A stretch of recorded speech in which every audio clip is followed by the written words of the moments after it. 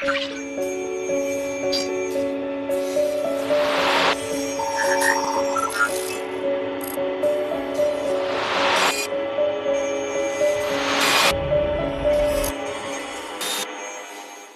站的朋友们，大家好，我是中国政法大学的刘建清老师，欢迎大家回到犯罪心理学课堂，我们共同来探讨犯罪人的内心世界。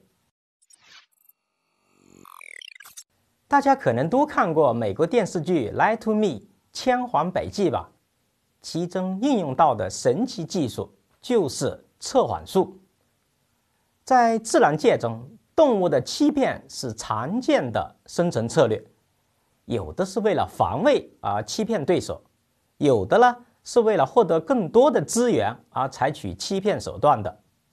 实际上呢，在人类的各种活动当中，谎言也是很常见的。人们在社交过程中会自觉或者不自觉地说一些谎话，这并不一定都是坏的行为，其中可能有善意的表达。今天我们学习的就是在打击犯罪中如何揭露谎言的技术。在很久很久以前，人们都一直努力去发现、揭露谎言。在宗教色彩很浓的年代，人们很相信神灵。在揭露谎言时，发明的方法是神才测谎法，比如说水势法、火势法。水势法是什么意思呢？就把人的手脚捆绑起来，扔到水里，淹死的就是坏人，没有淹死的就是诚实的人。火势法呢，就是让人光着脚从火炭上快速走过，如果他的脚被烫伤了，那就说明他是坏人；没有烧伤，他就是好人。显然，这是以神灵的意志来判断谁是谁非的。到后来才演绎出经验智慧的测谎方法。最有代表性的案件是二母争子案，说有两个母亲啊争抢孩子的这么一个事件。有两个年轻的女子都刚刚生养了小孩，其中的一个小孩啊不幸夭折了，她的母亲非常的伤心，非常的想念孩子。这时她发现邻居家也刚好有个小孩，就偷来当成自己的孩子养，这样两个母亲就发生了争执。他们找到一个公证人来裁判。公证人一时也很难以从两个人的辩解中和孩子的项目上来判断，就说这样吧，你们两个人抢孩子吧，谁先抢到孩子就归谁了。一听这话，两个母亲就开始准备。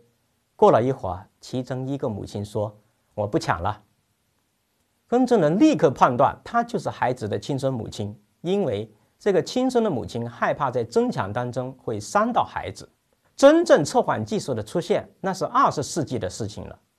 一九二一年，美国一名理工科毕业的大学生叫 John Larson，来到加州旧金山对面的伯克利小镇当了一名警察。他的任务很简单，就是抓小偷。但是他在抓小偷办案的时候啊，发现除非当场有非常确定的证据。这些小偷们啊，都会百般的否认抵赖，不承认自己的偷窃行为，这让拉森警官啊很苦恼。他苦思冥想，在医学检查仪器的启发下，他利用自己所学的生物学和机械学的知识，自己做了一台仪器，就是测定犯罪嫌疑人在讯问当时的心率、血压、呼吸频率的变化。以探测小偷在审讯时是不是说谎了。这方法一试很灵验，立马就能从生理指标的快速变化中识别出小偷的说谎行为来。这样一来，对办案是很有帮助的。于是，这种测谎仪就开始在司法实践中应用起来。这就是人类发明的第一台实用的测谎仪。从此。测谎技术就不断系统化、规范化的发展起来，并且越来越成熟。经过几十年的尝试，发展出了许多的技术和方法，比如说紧张分子法、控制问题法、犯罪情境法等等。所谓测谎仪，学名叫做心理生理测试仪，它主要的指标就是心率、血压。呼吸频率的变化。后来的发展增加了一些新的指标，比如说皮肤电、脑电、身体微反应、微表情等。首先，我们大家都想知道为什么能够测谎啊？它的原理是什么呢？最简单的说，就是一个人遇到危险情况的时候，会不由自主的紧张恐惧，而当心理上很紧张恐惧的时候，人的心理上就会自动的产生一些生理变化，从生理变化当中就可以推断他是否说谎。但是为什么要用仪器呢？因为有时候生理上的变化表面上是看不出来的，不显著的，通过仪器的信号放大，就能快速的、很直观的看到这种变化。那么有人会说，为什么心理紧张会有相应的生理变化呢？我们知道哈。人的生理反应和外部行为都是在人的神经系统的控制下来实现的。有的行为自己能够控制，比如说，你可以主动的说一个不太好笑的笑话；而有些生理上的变化了，是不受人的主观意志控制的。比如说，我们说都很害怕凶猛的老虎，对吧？除了说在野外当中看到一只老虎，你会害怕。哪怕是在野生动物园有栏杆的保护，一只猛虎向你奔跑过来，你也会心率加快，那是肾上素飙升的结果，是不受你意志控制的。又再比如，一个男生第一次和女生去约会，可能会不由自主的心跳加快或者满脸通红，这也是不受你意志控制的。有一种自主性神经，哎，也叫植物性神经。是在漫长的生命进化中形成的自动反应机制，它在平和的情境和紧张的情境下工作模式是不一样的。要是在重要的危险情境中，它会启动交感神经的应激模式，就是说战斗或者逃跑的反应模式。比如说在森林当中，你遇到了老虎，它正虎视眈眈地看着你，除了你一下被吓傻了之外。战斗和逃跑的反应是你唯一的选择，这是不需要思考，也不需要推理的，它是高等动物进化出来的一种本能，这样才能生存下去。有人说，如果没有这种战斗和逃跑反应模式会怎么样？它就被老虎吃掉了。这种人是没有后代的，就是说，基本上没有这种人。这种行为模式是自动的反应，而且反应很迅速。心理和行为要快速反应，生理上就要怎么样啊？就要做相应的准备，比如说你的心跳要加快，你的血压要上升，你呼吸要加快，肾上腺要飙升，肌肉要紧张，这样你才有更多的能量和力量去战斗或者逃跑。要特别注意啊，这些变化是不受主观意志来调控的。遇到了老虎，这只是一个比喻。比喻遇到了紧急危险的情况，现代社会的人可能会面对隐形的老虎，比如说遇到了紧急的事件，或者自己干了坏事，他肯定是知道一旦被发现是要接受惩罚的。如果实施了犯罪行为，后果当然非常严重，要付出巨大的代价，要失去自由啊，要失去尊严啦，甚至生命。这些隐形的老虎出现的时候。就会自动的激发出自我的恐惧和相应的生理反应，所以呢，可以通过检测他们在面对特定犯罪信息时的生理状态，从而知道他的内心状态有没有说谎。简单的说，测谎就是从生理指标的变化来推测一个人的心理状态。这里可能会有一个尖锐的问题哈。有没有不会产生正常紧张恐惧的人呢？如果对他们进行测谎行不行？有这种人，这就是精神变态者。他们没有平常人所具备的紧张恐惧，所以啊，对他们测谎基本上是无效的。这也是为什么有的精神变态者犯罪了很难发现他的踪迹，因为他们没有紧张，没有恐惧感。在对犯罪嫌疑人进行测谎时，我国常用的测试技术有紧张分则法和犯罪情境法。比如说，在一个有钱财被盗的案子里，办公桌里的五千块钱不见了，第二天才发现，确定这两天没有外人进入，那办公室的人自然就成了嫌疑人，他们都不承认自己拿了那个钱，那就进行测谎来甄别，一个一个测，接上测谎仪的感应器线路，因为表面上我们说看不出来一个人是不是紧张，但是通过仪器的信号放大。心理紧张的生理反应就可以立刻的显现出来。在测试前，可以准备五个类似的测谎问题来形成一组，一组一组的测。比如说，你叫什么名字啊？今天什么天气啊？最近工作怎么样啊？你会把那五千块钱藏在家里吗？你最近身体还好吗？其中，第四个显然是案件相关问题，其他的都是无关问题。这样的话。通过案件相关问题和无关问题的生理反应的对比来判断，如果每当问到相关问题的时候，某一个人的生理指标就会快速变化，那么他的犯罪嫌疑就会大大增加。这样通过多次的测定，基本上就可以甄别出来他到底是有嫌疑还是没有嫌疑。这就是紧张分则测试法。每当问到案件相关信息的时候，如果他的血压度上升、心率加快，这说明什么了？说明他至少是案件的知情者。那再比如，在一个凶杀案件当中，犯罪者使用的凶器很特别，别人一般是不知道的。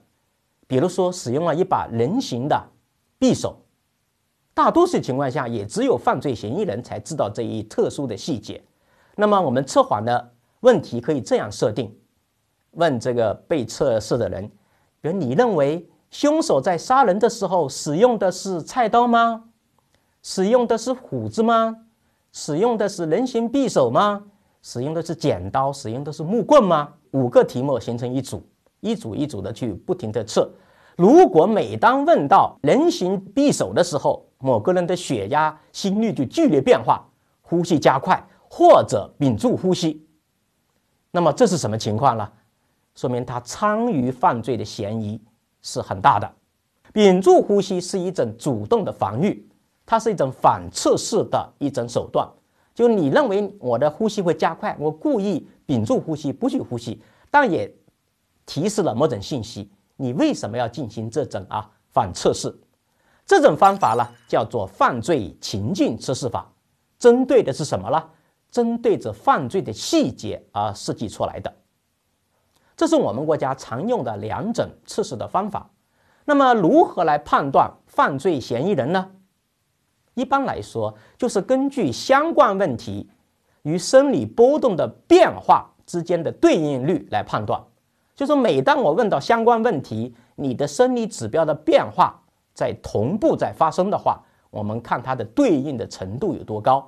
如果两者的对应率小于百分之三十，我们可以判断它是和这个案件是无关的，是无辜者。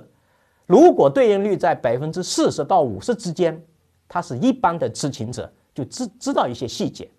如果对应率在百分之五十到六十之间，他是参与性执行者。啊，如果对应率大于百分之六十的话，基本上就可以确定他是犯罪嫌疑人。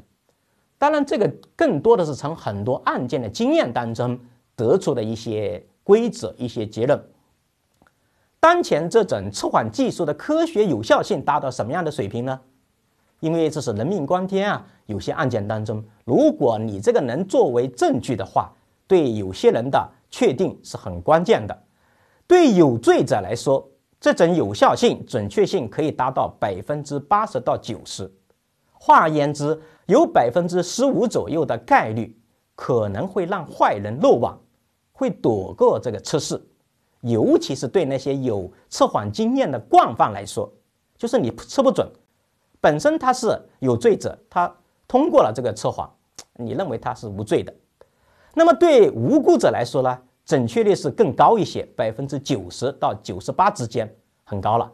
可见他在打击犯罪和保障人权当中都是很有用的。但是我们发现，也有百分之五左右的无辜者会发生误报。比如说，有的人天生就比较紧张，过于担心，他的本身的基础代谢率比较高，他表现出来生理变化比较明显。还有的呢，可能他和这个案件没有关系，但他可能曾经做过别的坏事，甚至是犯过罪，他很担心啊，会不会发现他隐瞒的那些罪行？那么这种人他的生理指标变化也可能比较大。那么他的结果就是有可能把无辜者误报为有犯罪的嫌疑人。在上个世纪九十年代之后，西方的测谎技术有了一些新的探索方向。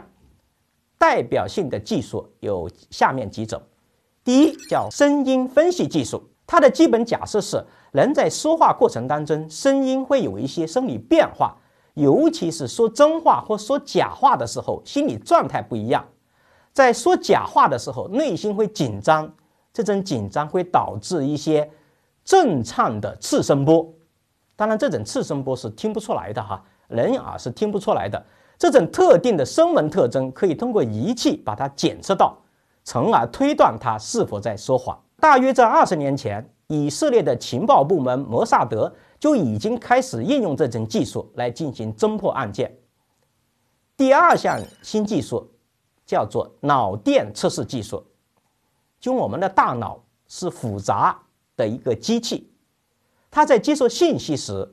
进行加工时会产生事件相关电位，就是我们通俗来讲是会产生不同的生物电，并伴随着电流量和血糖耗氧量的变化，就它加工程度不一样，加工部位不一样，它会表现出这些特征的一些起伏。而面对敏感信息的时候，进行加工的时候，可以侦查到这种脑电时间变化量或波形的特征会显现出来。它现在采用的具体方法是叫做正电子断层扫描技术和功能性核磁共振技术，用这个来测定的。由于脑电的变化是不受人的意志控制的，由此来推断说话内容的真实性。这种技术现在正处于探索验证阶段，西方的一些国家已经广泛的应用到刑事侦查、民事调查以及特定人员的筛选活动当中了。第三种呢，就是微表情、微反应的识别技术，它在千环百计电视剧当中都有夸张的表现，很神奇，类似于快捷的读心术。其实这项技术哈，并不是纯粹的想象，确实是有这种测谎技术。他认为人的表情和微表情是进化当中的情绪遗迹，就漫长进化过程当中。它具有适应性的这么一种遗迹，比如自然的微笑和假装的微笑是不一样的。假装的微笑是四十多块面部肌肉的快速模仿，啊，比如说嘴角肌收紧啊，微微露出牙齿啊，颧骨肌抬起，这就是假装的笑，模仿的笑。假装的笑，模仿的笑，在职业性当中很有用处，它某种程度上也可以反映一个人的职业素养啊。对人有礼貌，它是可以通过练习啊获得的一种技能，但是多数情况下都能识别出来，因为它和真诚的笑不一样。真诚笑除了这个我们说嘴角肌啊、颧骨肌的这种运动之外，还有一个特别重要的地方，什么呢？就是能眼角肌的收缩，就是眼角肌要舒缓的收缩，舒缓的回落。就我们经常讲的哈，眼睛会说话。就是指这个意思，这个也叫迪香式微笑，这什么意思呢？这是一个法国人的人名，他发现的就是以他的名字来命名这种笑，是一种自然的会心的笑。这是一种不需要学习就会的。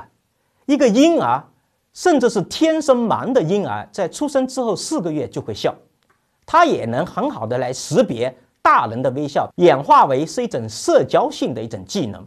也认为是一个生命体获得他人帮助、关心的一种本能反应。为什么叫微呢？就是时间很短、很短暂的潜意识的情绪流露。多短呢？大约持续二十到二百毫秒时间的这个表情，它是更不受人的意志的控制了，能够较真切地反映出人内心的体验，以此来推断真实和虚假。世界著名的情绪心理学大师叫保尔·艾克曼，他的研究团队开发了一种识别和训练微表情的这么一种方案。通过短时间的训练，可以提高安全人员在公共场合当中对危险人物微表情的识别能力。据说效果很好。他们报告说，哈，通过识别危险人物的微表情，他们成功阻止了七十起有计划的恐怖袭击事件。当然，他们有些技术啊没有公开，他们认为他们是他们的高尖端技术。比如说，他们认为可以用到政治决策当中，比如说对某个很关注国家领导人的发言，他认为可以。通过他的发言时候的表情来判断他们的态度的真实性。他们在研究当中还应用的一个特例，曾经对克林顿案件听证会进行过录像比对。克林顿在莱文斯基的案件当中作证的时候，发现他有三十六次摸鼻子的这个动作，这认为是一个微反应，就是说当时们他们推断他是在说谎，就是说当时他和他没有这个性关系。这个解释呢，就是人在进化过程当中，如果一个人说谎的话，他会很紧张，很紧张，带来生理上的一个反应呢，就是鼻腔会充血，一充血了，他就会痒痒，人会不自觉的会去安抚动作，就摸这个鼻子。所以他当时他们认为啊，他在听证会上是说谎，最后也证明克林顿啊确实是在作证是说谎了。还有一个呢。